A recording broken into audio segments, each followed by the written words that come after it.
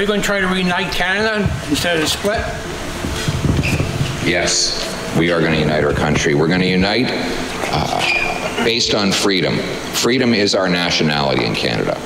Unlike other countries that define their nationality by ethnicity, race, religion, we define it by our shared and common freedom. Uh, the current government has, uh, uh, they follow an ideology that divides people into different groups based on gender, race, vaccine status, uh, region, uh, whether the, they try to divide business owners against workers. Uh, they try to seek any division they can in order to uh, make people forget they can't afford their rent.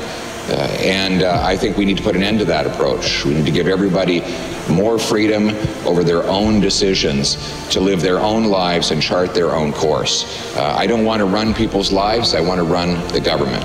Uh, I want to allow you all to make your own free decisions so that you can co co cooperate with your fellow citizens uh, to exchange work for wages, product for payment, investment for interest. You decide your religion, your values, how you raise your kids, how you spend your money.